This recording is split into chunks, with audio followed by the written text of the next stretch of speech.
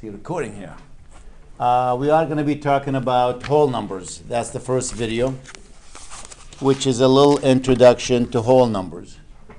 And I'm putting that picture there because I want people to see. We need to know the name of each location. We start with the ones, the tens, the hundreds. What comes after the hundreds? Thousand, then what? Ten thousand, hundred thousand, millions, ten millions, hundred millions, billions, ten billions, hundred billions, trillions, ten billion, hundred trillions, and so forth. Because we need to know the name of each one. Why? In a few minutes, we're going to start writing the problem in a standard form, writing a problem in expanded form, and you have to know which one's which. So, for example,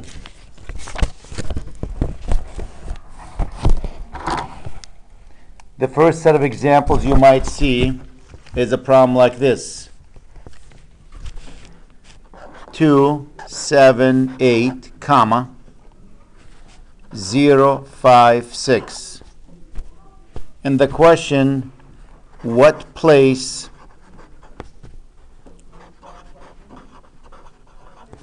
does the digit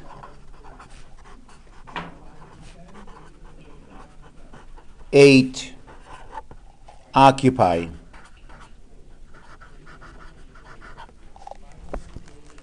Well, what do you think digit eight here? Yep, that's the ones, tens, hundreds. This is the thousand. So for that problem, the answer will be thousands.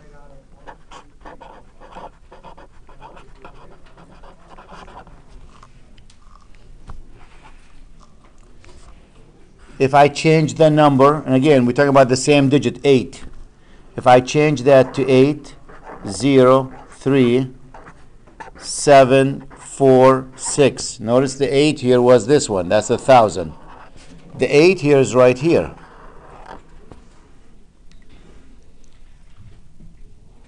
So is that 10,000? Is that a million? What is it? 100,000.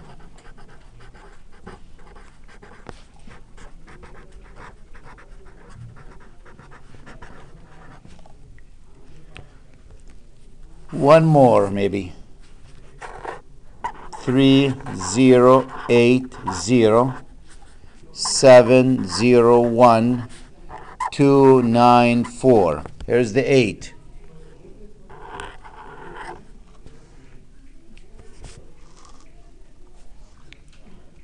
What is that? Yep, 10 millions. So you'll see some of the problems on the homework is like this. What place does the digit 5 here occupy? That'll be what? Tens. Uh, what place does the digit 7 here occupies? Hundreds, right? What place the digit 7 in this one occupies? 100,000. So that's why I have to know the place of each location.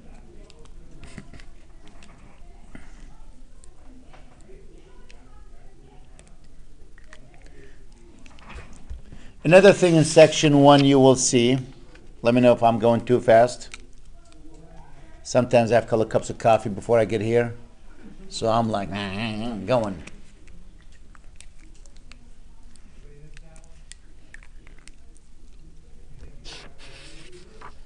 You okay?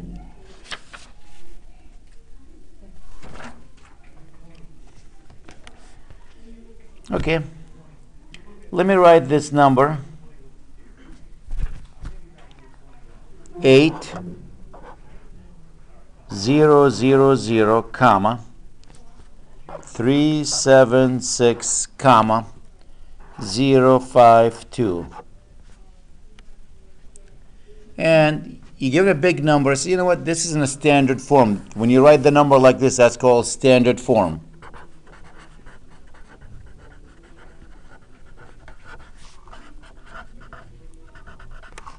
I want you to write that in words. Write the above number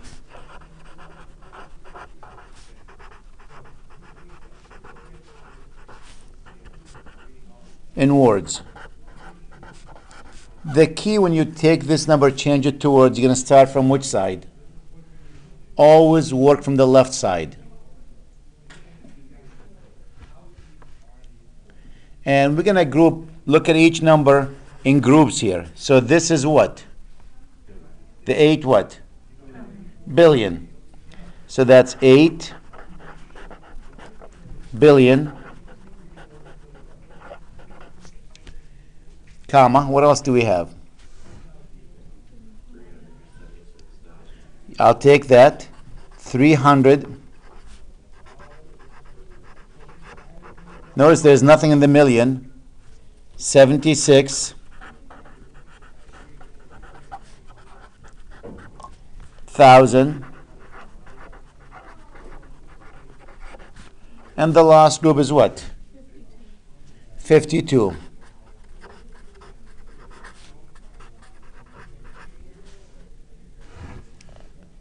So to write that in words, that's what you're going to write. 8 billion 376,052.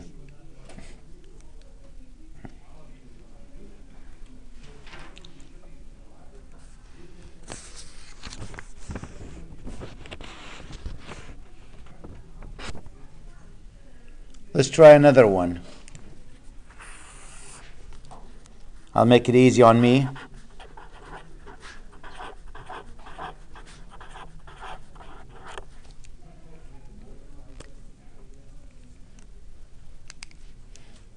What do you think?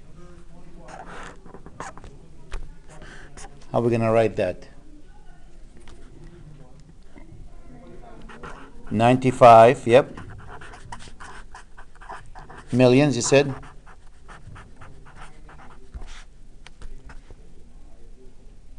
Three. There's no thousand, just three.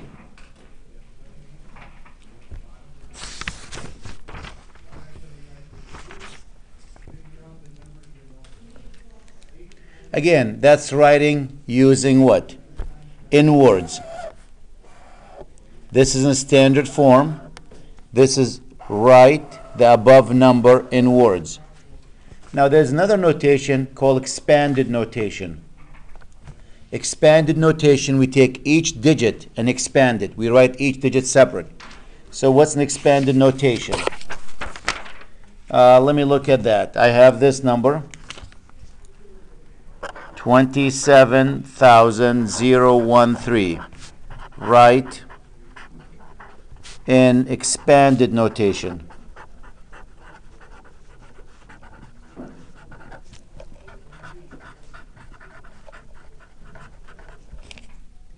In expanded notation.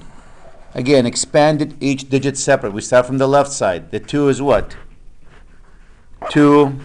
What's the value of that digit? 10,000, good.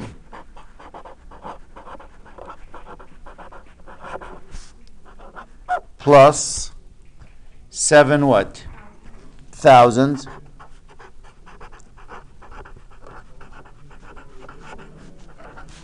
Plus, you can put zero hundreds if you want to. Because you want to write each digit.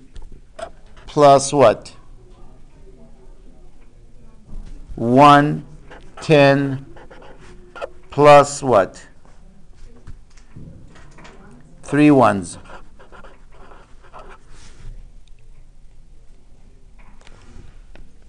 And that's called expanded notation, digit by digit. When the number is really big, it's almost impossible to write that in expanded notation if you have one of those big, big numbers. So a lot of times we tend to cheat. We take them in groups of threes like we did before.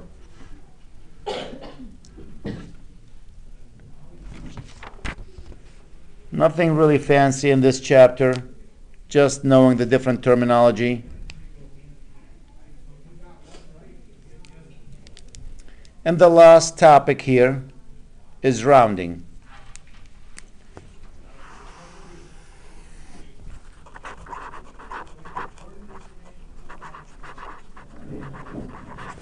rounding.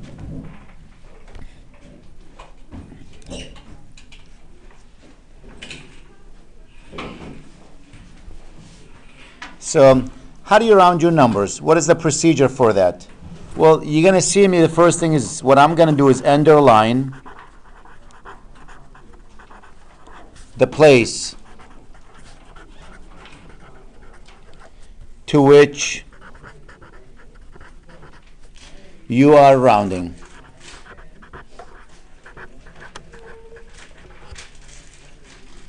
I'm going to underline that first. After underline, I'm going to look at the digit to the right of that. The digit to the right.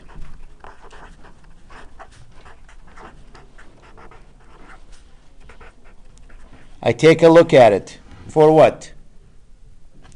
If that digit, if the digit 5 or more, if it is 5 or more, what do we do? Add 1 to the underlying digit.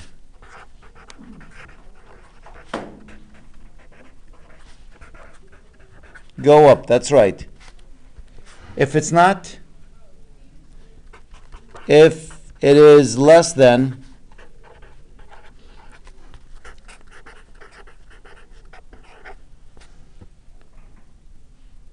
what do we do? We leave the underlying digit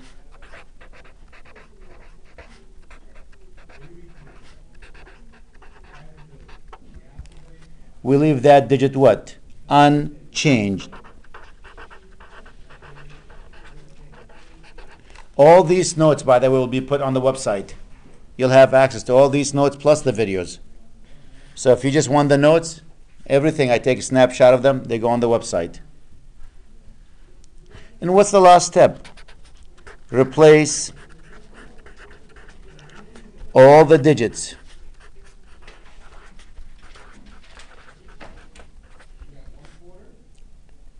To the right of the underline. Sounds like a lot of work there, but it's not. I'm just writing all the steps. To the right of the underline, replace them with what? Zeros, exactly.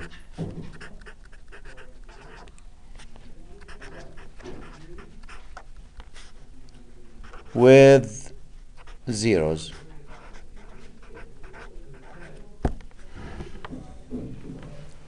So that's the step of rounding. Underline the digit you want to round to. Look at the digit to the right of that. If it's 5 or more, you add 1 to that digit. If it's not 5 or more, don't change it and replace all the digits to the right with zeros. And I'm going to take some examples here and go through them.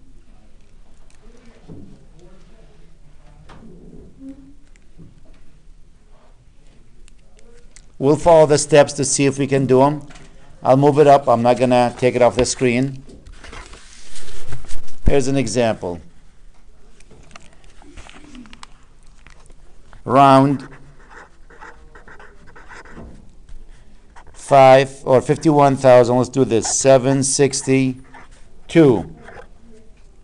I'm going to do it twice. Part A, I want your nearest thousand.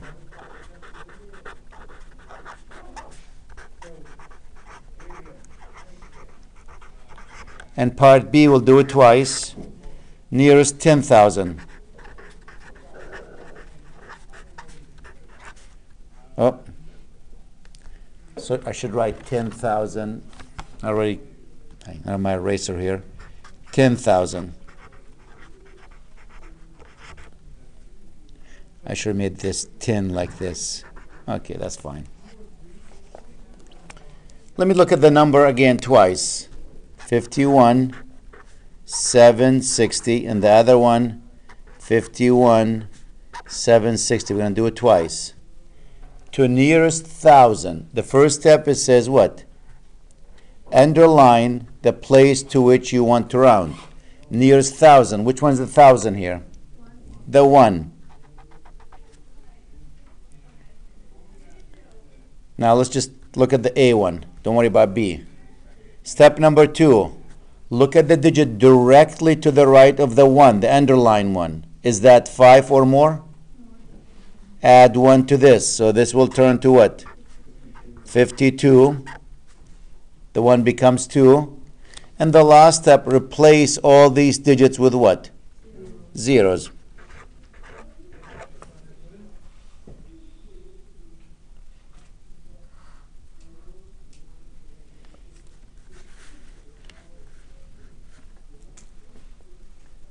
Let's look at B.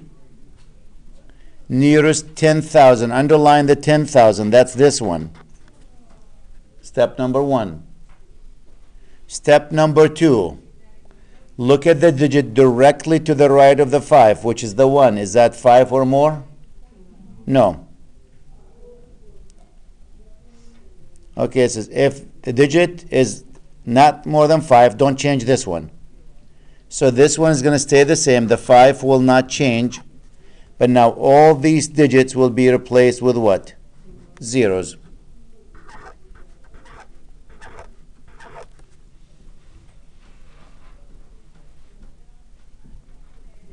So 5 or more, we add 1. Under 5, we drop it. Let's give you a couple of them to try. I'll do the same thing, A and B.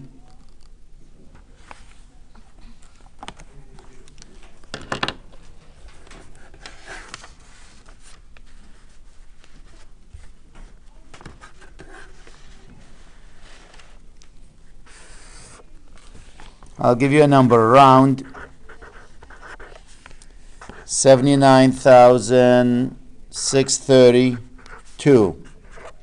Part A, nearest mm, 100.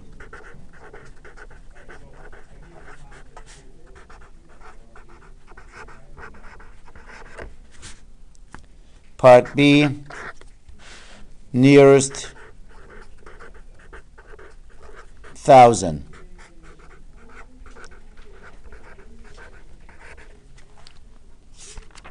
Take a minute, follow the steps, and see if you can get the answer.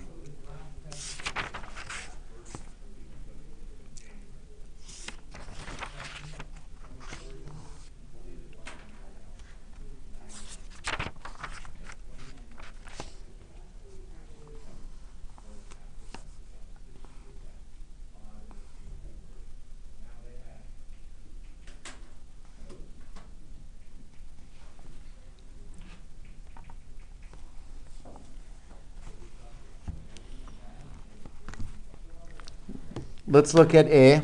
Write the number. Seven, nine, six, three, zero. Underline the digit. Nearest hundred, that's the place, right? The hundred. Look at that number. Is that five or more? No change to that digit. Seven, nine, six, and the rest of these digits, all the ones to the right of this one, replace them with what? Zeros.